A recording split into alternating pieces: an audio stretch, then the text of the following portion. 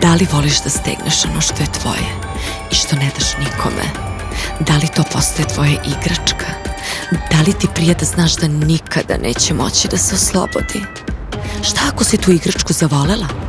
Ne daju da pobegne, jer na kraju, posle svake prave ljubavi, tvoj lični opis se svede na dve reči. Posesivna bivša.